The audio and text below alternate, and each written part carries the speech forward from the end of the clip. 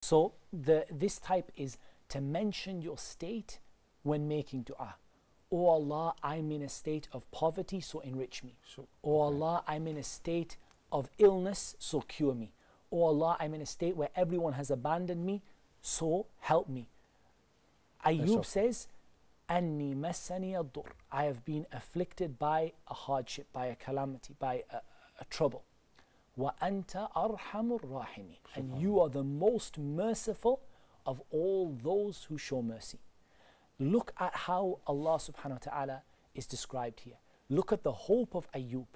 Even though he sees around him, everyone has left him. There's no cure for what he has. He is uh, severely uh, disabled, severely ill. Uh, he's, he's lost his family, he's lost everybody, and he is completely alone. And yet he says to Allah, You are Arhamur Rahimin, the most merciful of